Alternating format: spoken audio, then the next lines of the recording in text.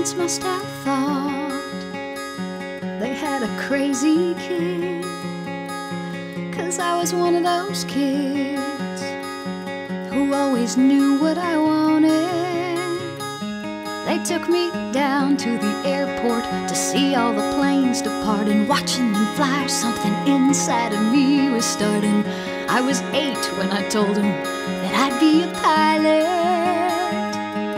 But I was too young and too short, and there were no female captains. And my dad said, Be patient. He said, Just see what happens. But I took my first lesson, came down from the sky, and told my father I'd fly for the rest of my life. And I got my first job flying for a mortician in a tiny bonanza, just a corpse and me. Five dollars an hour for flying dead bodies. I had to climb over their faces just to get to my seat. Then suddenly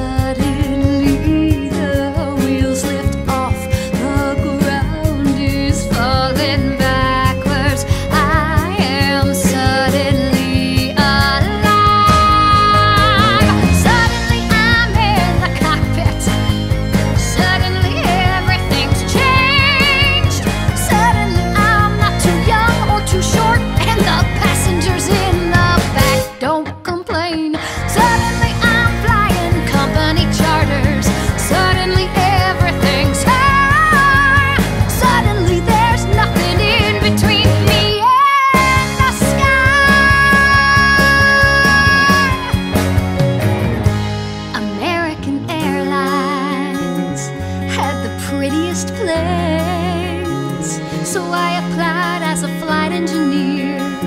But the World War II pilots, they all complained. They said girls shouldn't be in the cockpit. Hey lady, hey baby, hey, why don't you grab us a drink? And the flight attendants weren't my friends back then. And they said, Are you better than us, do you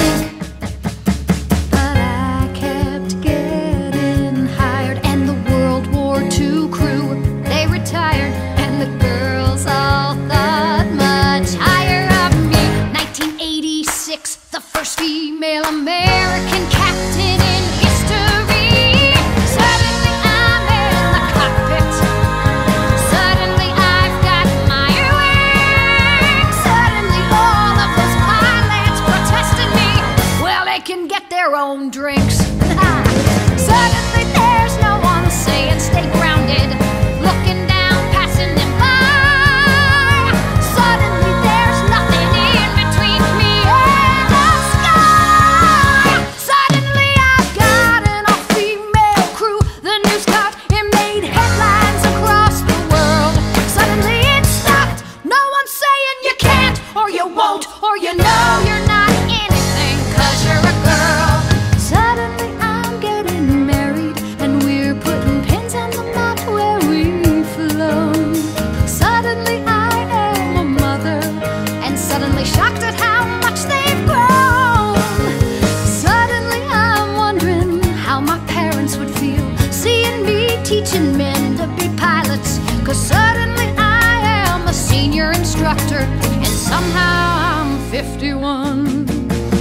Suddenly I'm flying Paris to Dallas, across the Atlantic